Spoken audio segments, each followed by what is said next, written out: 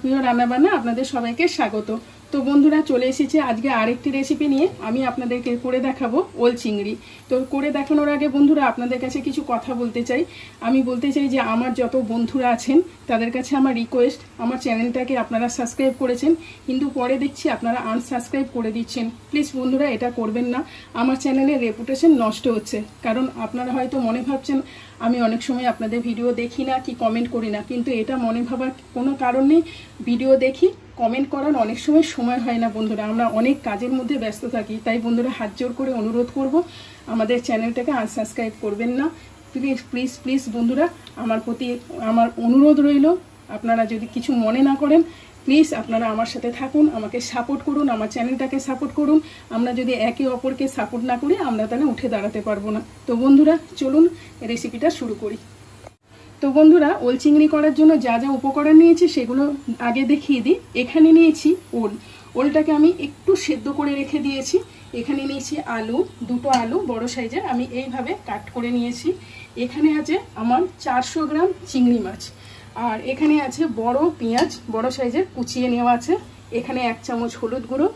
এখানে বড় সাইজের একটা টমেটো কুচি কুচিয়ে নিয়েছি এইভাবে। এখানে পাঁচটা কাঁচা লঙ্কা, এক চামচ আদা বাটা আর হাফ চামচ রসুন বাটা, এক চামচ জিরে গুঁড়ো, এক চামচ লঙ্কা গুঁড়ো আর চিনি নিয়েছি, কারণ চিনিটা আমরা আন্দাজ মতো দিয়ে দেবো, এখানে আছে নুন।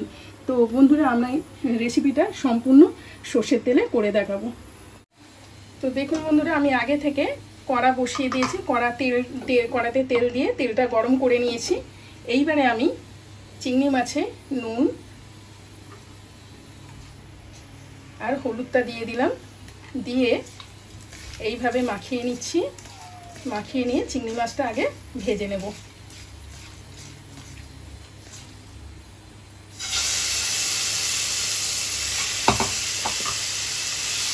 তো দেখুন বন্ধুরা, আমার চিংড়ি মাছটা ভাজা হয়ে গেছে। আমি এবারে চিংড়ি মাছটা নামিয়ে নেব।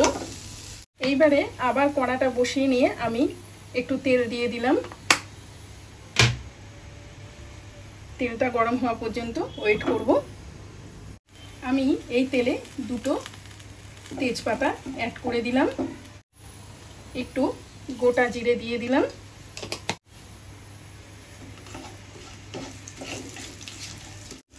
এইবারে আলুগুলো এতে তুলে দিচ্ছি। আলুগুলো এর সাথে একটু ভেজে নেব। আমি ওলটা সেদ্ধ করেছিলাম, কিন্তু আলুটা সেদ্ধ করিনি। আলুটা ভালো করে তেলে কষিয়ে নেব। এটা চন্দ্রমুখী আলু আছে ওই জন্য আমি সেদ্ধ করিনি, এটা এমনিতেই হয়ে যাবে তাড়াতাড়ি। আলুতে একটু নুন দিয়ে দিচ্ছি।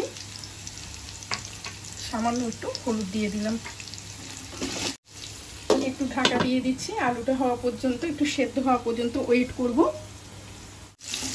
দেখুন, আলুটা আমার মোটামুটি ভাজা হয়ে গেছে, আর একটু হবে। এরই মধ্যে আমি পেঁয়াজটা দিয়ে দেব।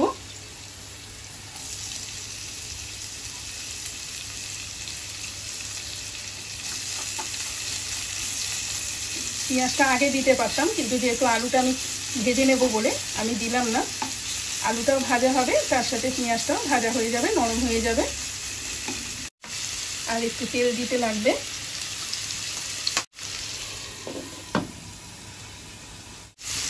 পেঁয়াজটা মোটামুটি ভাত মোটামুটি ভাজামুটি হয়ে এসেছে। এইবারে এইভাবে আমি আবার পেঁয়াজ আলু একসঙ্গে ভালো করে ভেজে নেব। এইবারে আমি টমেটোটা দিয়ে দিচ্ছি।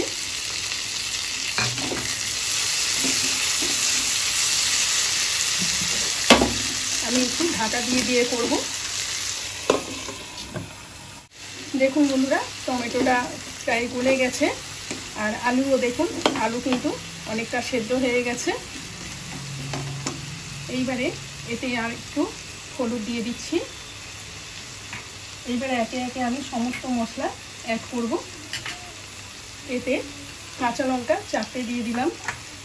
আর আদা রসুনের পেস্টটাও দিয়ে দিলাম। তার সাথে সাথে জিরে গুঁড়োটা আমি এক চামচ নিয়েছিলাম, দিয়ে দিলাম। ভালো করে সমস্ত মশলাগুলো আলুর সাথে কষিয়ে নেব। কাঁচা গন্ধটা নালে রয়ে যাবে। এর সঙ্গে ওলটাও আমি দিয়ে দিচ্ছি। ওলটা দিয়ে আবারও ভালো করে আমি কষিয়ে নেব। ওলটা আমি সামান্য একটু সেদ্ধ করেছিলাম। অনেক সময় অনেক ওল আছে। যে অনেক ওল আছে যে কুকুর করে না, কিন্তু অনেক ওল আছে যেগুলো খেলে একটু কিরকির করে সেগুলো একটু সেদ্ধ করে জলটা ছেড়ে দিলে খুব ভালো হয়। এইবারে এতে আমি এই চামচে হাফ চামচ নুন দিয়ে দিলাম। আপনারা আপনাদের পরিমাণ মতো দিয়ে নেবেন। এবারে লঙ্কা গুঁড়োটা এক চামচ আমি এক করে দিলাম। এটা যেহেতু কাশ্মীরি লঙ্কা গুঁড়ো নয়, সেই জন্য আমি একটু কম করে দিলাম। ঝাল হয়ে যেতে পারে, বাড়িতে বাচ্চা আছে, বাচ্চারা তাহলে খেতে পারবে না। দেখুন, আমার সবজিগুলো কষা হয়ে গেছে। আর তেল কিছুটা ছেড়ে এসেছে। দেখুন, কষাও হয়ে গেছে। এইবারে আমি এতে যেটা অ্যাড করব, সেটা হচ্ছে আমি অ্যাড করব একটু চিনি। সমস্ত তরকারিতে একটু চিনি না দিলে, ব্যালেন্সটা থাকে না, চিনি না দিলে টেস্ট হয় না। যারা চিনি খান না, তাদেরকে অনুরোধ করব, দেবেন না।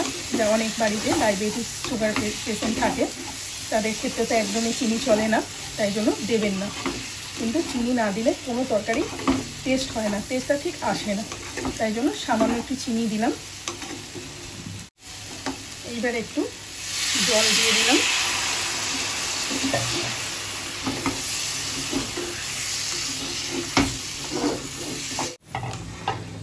জল দেব না, জল দেওয়া হয়ে গেছে। এইবারে আমি একটু ঢাকা দিয়ে রান্নাটা করে নেব। দশ থেকে বারো মিনিট সময় ধরে রান্নাটা করে নেব, তারপরে ফিরে আসি আপনাদেরকে দেখাবো। তো দেখুন বন্ধুরা, আমার প্রায় হয়ে এসেছে। আর মিনিট পাঁচে করলে হয়ে যাবে। তো তার আগে আমি চিংড়ি মাছটা দিয়ে দেব। দেখে নিই ওলটা কতটা সেদ্ধ হলো। ওল আর একটু বাকি আছে। সেদ্ধ হয়ে গেছে।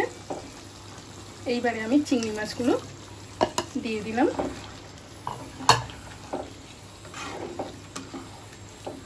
ইয়া আবারও আমি মিনিট পাঁচে রান্নাটা করে নেব একটু ঢাকা দিয়ে। মিনিট পাঁচেক পরে ফিরে এসে আপনাদেরকে দেখাচ্ছি। বন্ধুরা, আমার ওল চিংড়ি অলমোস্ট রেডি হয়ে গেছে। এইবারে আমি এতে দুটো জিনিস অ্যাড করব। সেটা হচ্ছে, আমি সামান্য একটু গরম মশলা ওপর থেকে ছড়িয়ে দিলাম। ফ্লেভারটা ভালো আসার জন্য আপনারা চাইলে নাও দিতে পারেন। গোটা গরম মশলা ব্যবহার করতে পারেন ভাজার সময়। আর এতে আমি হাফ চামচ ঘি অ্যাড করলাম। বেশি দিলাম না, হাফ চামচ দিলাম। এইবারে আমি একটু আবারও ঢাকা দিয়ে দিলাম। দু মিনিট পরে আপনাদের সার্ভ করে দেখাচ্ছি। তো বন্ধুরা, আমার দু মিনিট হয়ে গেছে। ঢাকা খুলে এবার সার্ভ করে দেখাবো। তার আগে আপনাদের অনুরোধ করি, আমার রান্নাটা, এঁচড় চিংড়ি রান্নাটা যদি আপনাদের ভালো লেগে থাকে, আপনারা লাইক করতে ভুলবেন না কমেন্ট করতে ভুলবেন না শেয়ার করে দেবেন। এবং পাশে থাকা বেল আইকনটি ক্লিক করে অলে সেট করে দেবেন। যখন আমি কোনো ভিডিও ছাড়বো, তখন সবার আগে পেয়ে যাবেন বন্ধুরা। আমার পাশে থাকুন, আমাকে সাপোর্ট করুন প্লিজ সাবস্ক্রাইব করে দেবেন। আজকে ভিডিও দেখার জন্য ওয়াচ করার জন্য আপনাদেরকে বিশেষ ধন্যবাদ জানাই। আসব আবার পরবর্তী রেসিপি নিয়ে। বাই বন্ধুরা।